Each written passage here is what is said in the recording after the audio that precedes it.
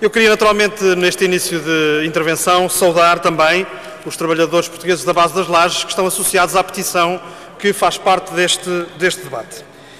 E queria justamente sublinhar aquilo que me parece ser essencial. A base das lajes tem uh, consigo uh, uma, um acumulado histórico uh, que não é despiciando de atropelos à legalidade.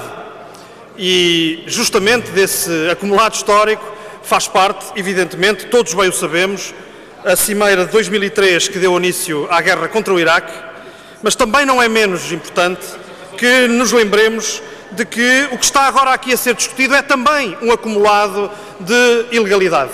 Porque foi justamente ao longo destes, destes anos que aquilo que estava consagrado em tratado internacional, ou seja, um determinado método de cálculo para os salários dos trabalhadores portugueses na base das lajes, foi sistematicamente violado pela parte norte-americana, não cumprindo a obrigação de, eh, de aceitar o eh, inquérito salarial. Bom, perante isto, o que é que constatamos?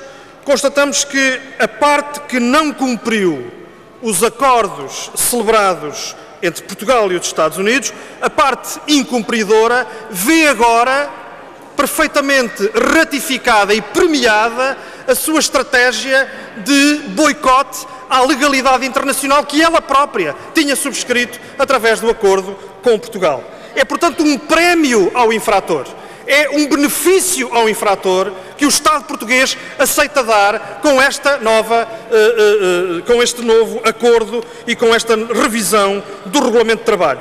E, Sr. Deputado Miguel Coelho, não concordo consigo em que tenha sido salvaguardado o essencial.